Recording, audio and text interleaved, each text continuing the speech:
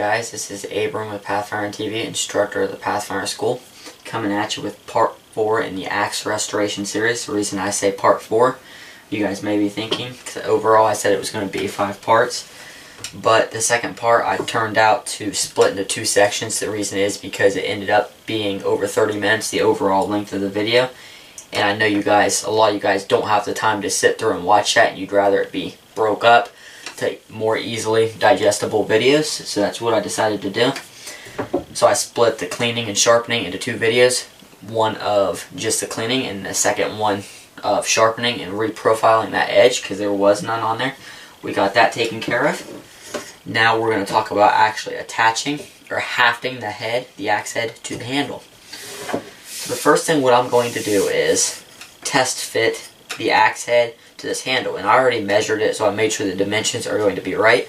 But every specific or every um, particular handle is not going to be the same, so it's going to be different on how it sits or rides on that axe head. So what I'm going to do is take the axe head and set it in here. Make sure you have it in right. Some people put them in upside down, but make sure you set it in there right. And like I said, I made sure this is the proper size for this head. I'm just going to set it down in there. So, it looks like it's going to fit pretty good. Make sure it's nice and flush across there when you put it on. Once you get that, I'm going to turn it upside down.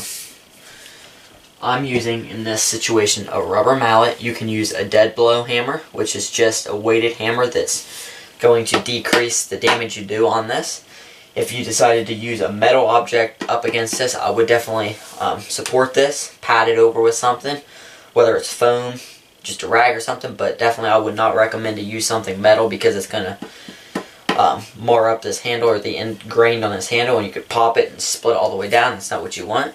So hold it above the ground, above the floor, and strike the butt of the handle.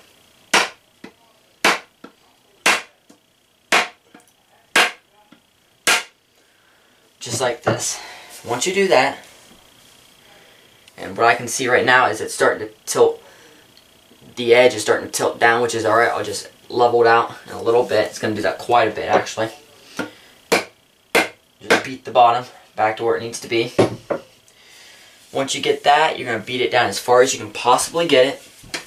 And you're going to start to see this grain here, or this wood, where the axe, the bottom of the eye of the axe, is getting very tight and starting to curl over this wood. And that's a sign that you need to pull this off and then take your rasp or whatever you're using, sandpaper, rasp, belt sander, and remove that material right at that mark.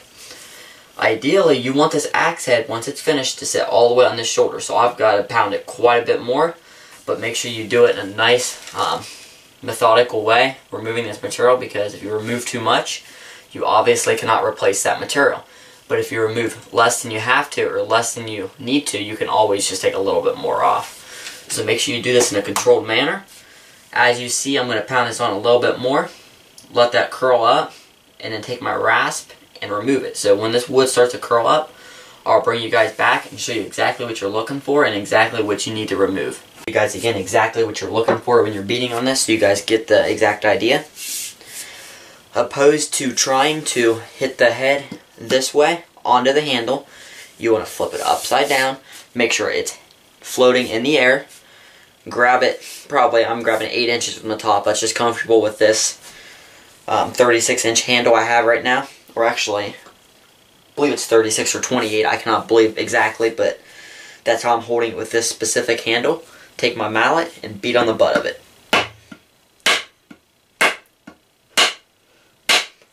And just slowly pound it back up or slide it back up as you need to. So far is my axe head is currently pounded on as far as I could possibly get it for the first fitting.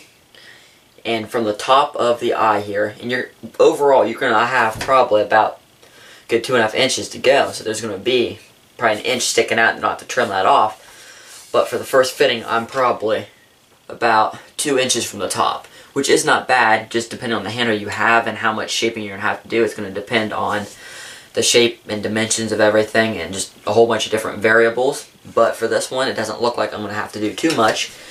But I'm not sure if I'm hoping you guys can see it, but there's a little bit of curling action going there. And since it's curling there, it's starting to cut in deep, so I cannot pound any farther down. And if I do, as you guys can see, this is not straight across anymore. It's the bottom of this, or the toe of the blade here, is tilting down because it can't go past this, so it's compensating and going forward, or going front heavy here. You don't want that. You want this to go on even, obviously, or it's just not going to look right. You do want this head a little bit facing down, but you don't want it anywhere near what I have it here.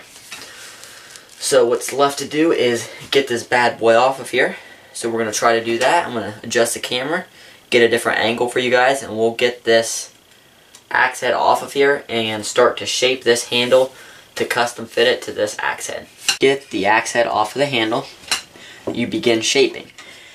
And to show you exactly what you need to shape, don't worry about it down here. I didn't get down here, but the wood was curling. It's just the way they shaped it. But majorly up here, as I showed you guys, you can see that the wood was curling right at that point. That's where the contact was. And when you get to the bottom, you want that curl everywhere because you don't want no gaps at all. So what I'm going to do is, got a couple options, and again, I'm going to have to remove quite a bit. So I'm going to take my wood rasp and knock off that curve. And that's just an indication of exactly where I need to remove that material because that's where it's getting caught up. And if I want it to go any farther down this handle onto the shoulder, I have to remove that or it's just going to curl up and be an ugly mess by the time I get it down there. You can use this, some sandpaper. You can use this flap wheel. There's a wide assortment of different tools you can use, but whatever works for you is what you need to do. So I'm just going to remove this material in any other spot, which it wasn't catching anywhere, so remove right here, put it back on, repeat the process until I get it all the way down to that shoulder. Very simple, it just takes some patience, especially if you get a handle that's not the exact fit, or that hand or that axe doesn't slide on, the axe head doesn't slide on perfect, that's alright. The more work you put into it, that means that the tighter it's going to be on the bottom, and the longer it's going to last, and it's going to be a lot more functional of a tool, or a lot better tool than when you buy at a store. And you get to know you, you've done it yourself. So I'm just going to remove this and then we'll continue along in the process. I, I ended up getting it pretty close to the shoulder, exactly where I wanted it on that shoulder. Because I want it to get as far as I can possibly get it down on the bottom so that the seal on the bottom of the axe head is nice and tight and there's no gaps and that's exactly what you want because think about it, the gaps are just going to lead to more um, wiggle room if you do swing it and it's got that little gap to move or um, shift the head a little bit. You don't want that to happen. You don't want no shifting in that head throughout the swinging process. So you want it all sealed up nicely. I've got a little bit to remove for right here. And again, it's just with the wood curling over. That's exactly where you, you know you need to remove that wood. And I got some right back in here I keep catching up on. So I'm going to take this wood rasp, clean up right there. And then get ready to pound this on for the final time, but when you do that, the saw kerf that you have, and that's a really important thing you need to look at when you're going to hang this, because you want that kerf to be nice and straight across here, which I showed you guys in the first part of this series, but you want that to be a nice cut, nice clean, even cut with that saw kerf. But by the time I get this axe head on there, I want that saw kerf to run three quarters of the way down that axe head once I have it seated where I want it to be. So once I have it seated on the shoulder, I want that saw kerf to be adjusted all the way down three quarters of the way through that axe head once I have it seated, so I'm going to probably have to adjust that a little bit. There's one thing that House Handles is notorious for is cutting their saw kerfs a little bit shy, but that's alright because some companies cut them way down here and then if you have it sitting here and it's sticking out half the way, the saw kerf, that's no good. So I'd much rather the company just cut it short than too much. So make sure you have that three quarters of the way down before you finally seat this on there and you should be good to go as far as I can with this project tonight and I'll show you guys the reason. I've got this axe currently, pull that up a little bit, seated exactly where I want it on this shoulder. I've got approximately about an inch sticking up, which is perfectly fine. I'll trim it off once I get my wooden wedge in there, but that brings up the issue I'm having right now. The only wooden wedge I have for this will not fit this particular axe head, and I'll show you why. So if I go here and bring this up and I'm going to actually adjust the camera a little bit. I'll bring the camera a little bit closer and I'll explain why this wooden wedge will not fit this particular axe head. Got the camera a little bit closer here and I apologize. I'm having trouble getting all this lighting situation right so you guys can see. But to the point of this is up at the top here, I've got a little bit of a gap right there and that's okay. I just need to make sure my wedge is the full length of this axis up here, the dimensions up there. I have to make sure it covers everything. I cannot have it just cover here because I'm going to have that little loose gap. And again, that brings up the point of this wiggling around. And if that happens, it's just giving it more room to move around. If you're swinging really hard or hit something really hard, it's going to give that much more give right in that area. So you need to make sure this wedge from here to here covers the whole thing. And in this case, the wedge they supplied with this one does not do so. So I need to make sure I get a wedge that's measured correctly. So I'm going to take in the task of actually making my own wedge tomorrow. I'm going to pick up some either walnut, and that's what I'm hoping to get because that nice dark brown walnut color is going to look good in contrast with this axe handle. It's going to look real nice up there. I've seen guys do it, and I like that. Or I'll just get some red oak and that will work just fine. Anything that's hard, you cannot use pine. You can, but the only problem you're going to run into, pine, poplar, they're soft woods and they're going to rot a lot e easier than a harder wood and it won't last as long. So you need to make sure it's a harder wood that you're looking to get. So I'll go tomorrow and I'll pick up some either walnut or oak and I'm hoping walnut and we will take in the task of making the wedge and then we'll put it in here and we'll be good to go. But as you guys can see, I've got this seated on there really nice. I mean, there's no gap at all up through there. There's no spacing, which is what I really like. And that's what you're looking for. We'll just get that wedge made, put some glue in it, pound it on there, cut it off flush. Then we'll be ready to put the other wedge in there and we'll be finished with this project. We'll just finish putting a nice polished, polished edge on there and we'll be good to go. See guys, I've got my piece of oak that I trimmed down. This is just a piece of oak I bought at Home Depot today. Um, I trimmed it down with my axe, so nothing perfect at all. But I'll tell you, it's a lot nicer than some of the wedges you will come across when you're ordering handles or getting them from Home Depot or places like that. So I'm happy with it, how it turned out. Um, it's trimmed down nice and even. I took some sandpaper, just sanded it up, made it nice and smooth. Now what I'm going to do is, before I put the head on for the final fit, I'm going to make sure that saw kerf is where it needs to be, so it's three quarters of the way down um, the axe head once it's seated on the shoulder, which is what you want. But while I'm doing that, actually before, I just thought about this before I do that, but I'm going to set it on there, actually cut the saw kerf, set the axe head on there, and then measure this and see how much I need to trim off because I know I kept it long just in case.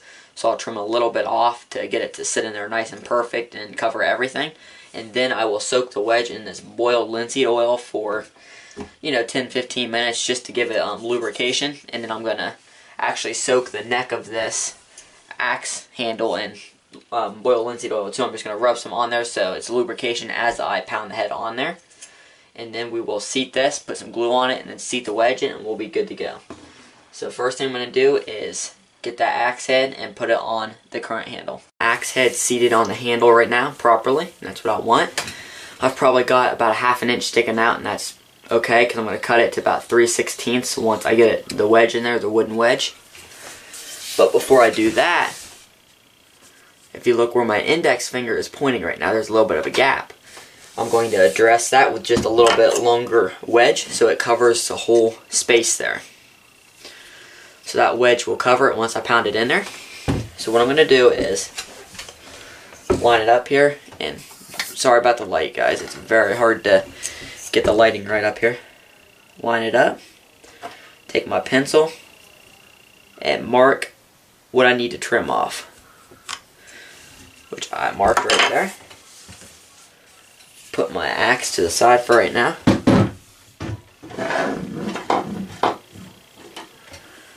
Once I do that, you know, just find where I marked, which is right here. Take something to trim it off. In this case, I'm just going to take my pocket knife here.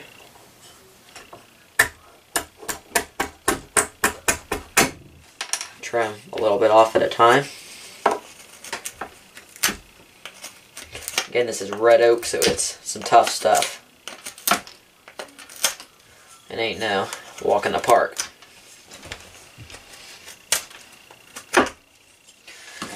once we do that, just keep doing that until you get the right fit that you need. That's all I'm going to do.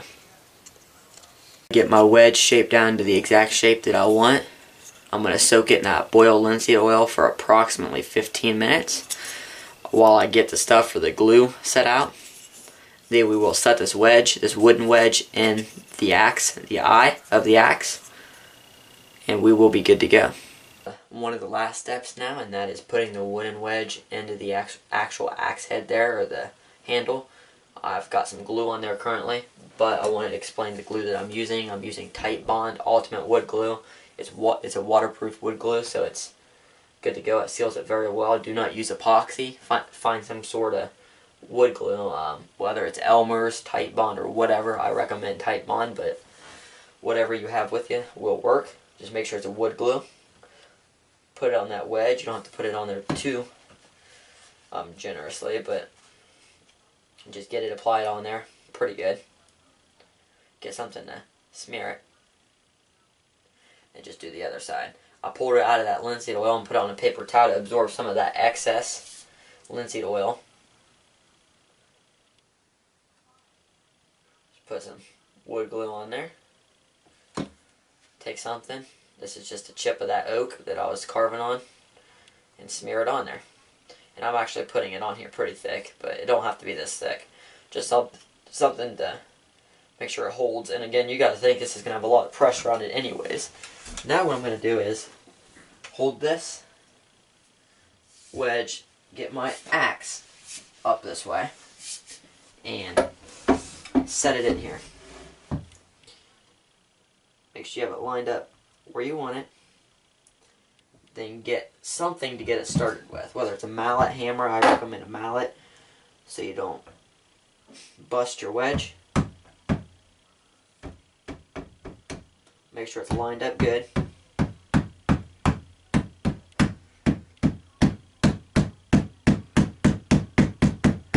Now once you get it started, I'm going to take this outside onto some concrete, flip it upside down, and hit the butt of the handle. I'll bring you guys out there and show you.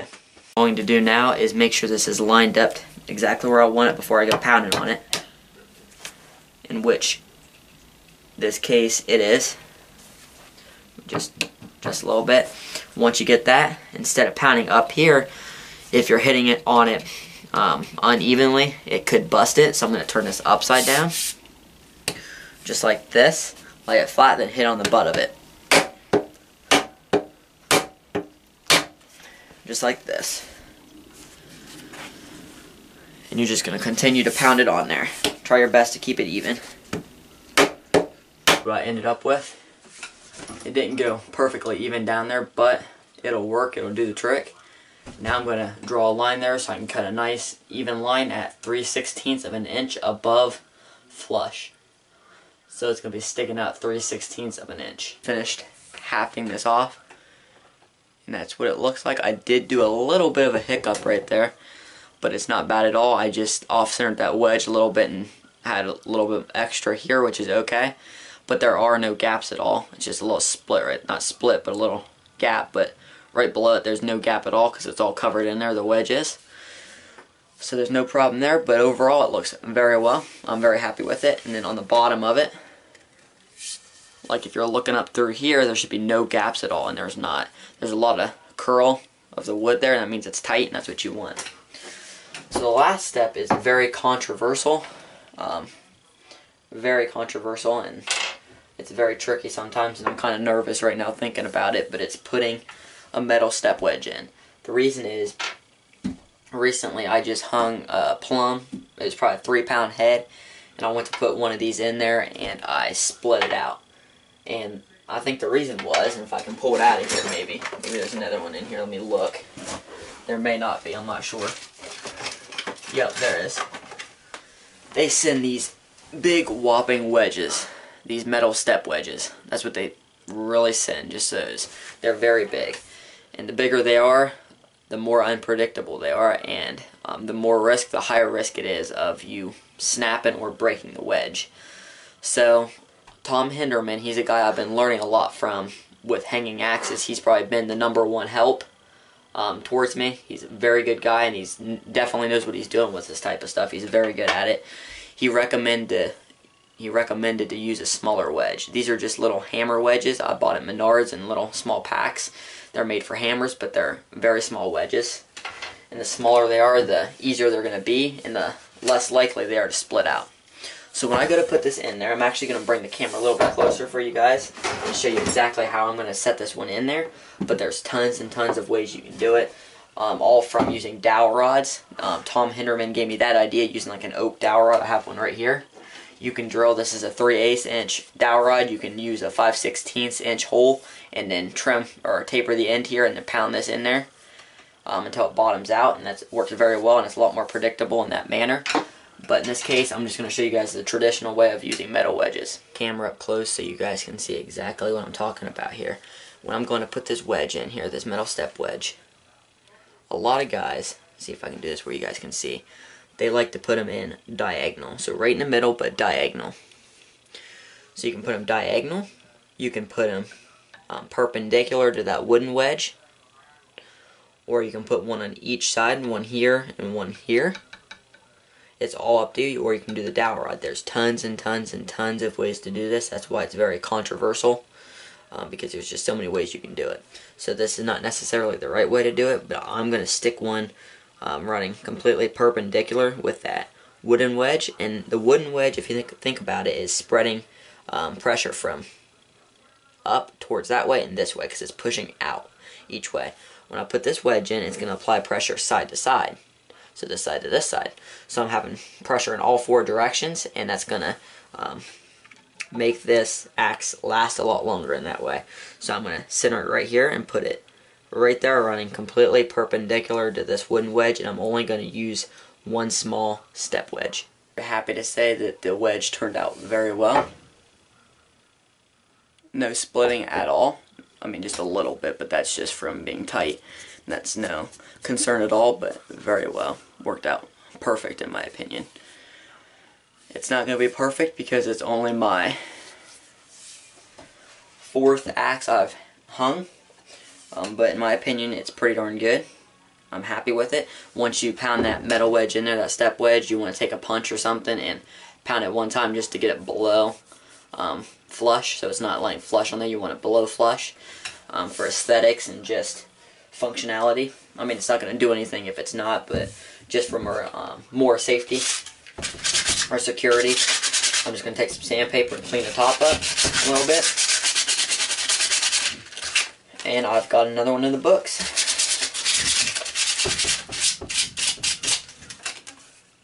I'm happy. Very happy with the results of this one. want to thank you guys for sticking around for this axe restoration series. This is part four. Um, I believe it's part four. We've done uh, talking about materials. Second one was cleaning the axe head. Third was sharpening. Fourth, this is the fourth part, and that's cleaning up. Um, not cleaning up, but actually getting the axe hung or hafted into the handle here. The fifth part is going to be fit and finish. So I'm going to put some kind of sealant on here, some boiled linseed oil. I'm going to clean up um, finish the sharpening process on this edge. And then the sixth part is going to be making a leather sheath for this axe. I hope you guys enjoyed this series so far. I hope I hope you guys are learning a lot. This has been Abrahm with Pathfinder TV, instructor at the Pathfinder School. If you have any questions, take them to the Pathfinder Learning Center on Facebook. Share this video with your friends. Tell your friends to subscribe. We all appreciate it at the Pathfinder School. Thanks for watching this video, and I will catch you next week on the next one. Take care.